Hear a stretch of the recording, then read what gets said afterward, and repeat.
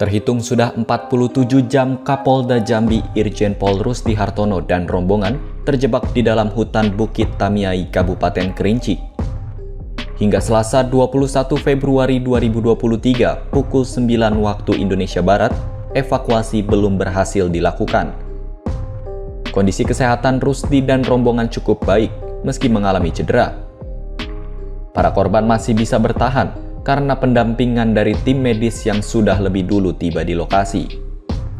Kepala Sub Operasi Basarnas Jambi, Manca menuturkan, persediaan obat-obatan dan makanan juga dipastikan cukup. Selain itu, didirikan tenda untuk tempat berlindung sementara dari hujan dan cuaca dingin.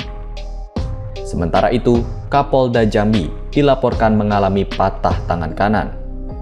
Meski begitu, Rusdi dan rombongan masih dalam kondisi stabil dan sadar.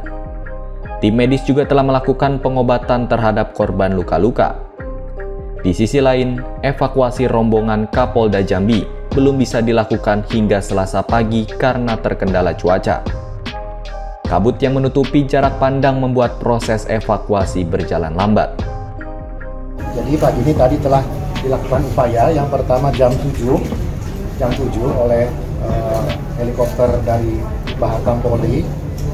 Jam 7 sudah menuju ke lokasi uh, upaya untuk uh, melakukan proses evakuasi. Namun karena cuaca yang masih berkabut dan tidak memungkinkan sehingga helikopter kembali lagi ke lapangan uh, ke posko ke Merangin untuk melakukan pengisian aftur.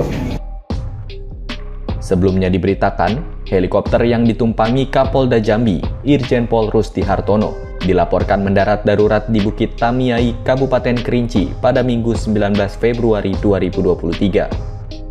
Seluruh penumpang selamat meski mengalami luka-luka.